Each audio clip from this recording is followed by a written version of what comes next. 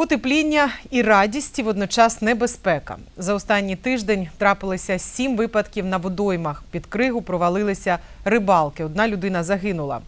Щодня фахівці служби порятунку відвідують водойми, де спілкуються із любителями зимової риболовлі, нагадують їм правила безпеки. Профілактична робота проходить у всіх регіонах України та буде тривати і надалі.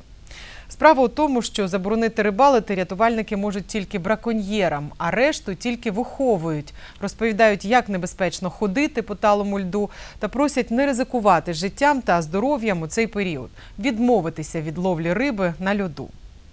На данный момент, так как пошли, пошло хорошее потепление, э, лед начал очень таять.